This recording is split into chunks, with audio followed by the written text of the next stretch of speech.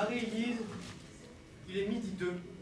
Voulez-vous qu'Églantine et moi-même installions un endroit sympathique afin de nous sustenter des mets délicieux que vous nous avez sûrement préparés? Kevin, bordel! À table quoi Avec plaisir, très cher. Je vous ai concocté un délicieux petit plat dont vous me direz des nouvelles. Des chips à du sauce et prends des assiettes en carton, putain. Je peux la vaisselle? Dites-moi, très cher, avez-vous prévu une activité après notre pause méridienne? Non. Je pensais que nous pourrions décider ensemble. Églantine voudra sûrement aller voir la salle de la Diana. Je me suis laissé dire que François Ier fut accueilli en 1536 et qu'un trésor d'orfèvrerie gallo-romaine y était exposé.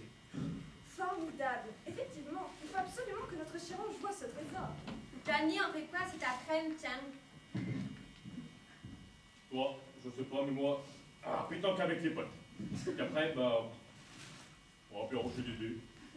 Bon bah tant pis, hein. J'en profiterai pour lire le dernier closer, tiens.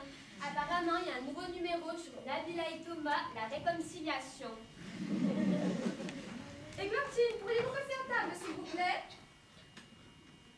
Kevin, tu bouges ton cul, putain, mon main Et ramène le pinard pour ton père, il va encore se bourrer la gueule, celui-là, tiens Mère, vous n'aurez pas vu mon maillot de bain de chez Zadie les Voteurs, je ne le retrouve plus.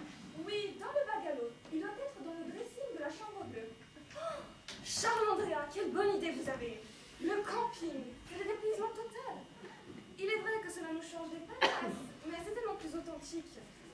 Ce lien avec la nature, ce retour aux sources, le contact avec des gens simples. Wesh gros, il est où mon calbut Eh ben, je sais pas où il est ton galbut, tiens J'ai l'air de l'avoir sur moi Maintenant, il est peut-être dans ton sac, vérifie T'es ouf toi Tout vidé ce matin, c'est plein de fourmis J'en ai marre de ce camping de merde Je suis plein de bâtards Quel vocabulaire ce jeune à côté.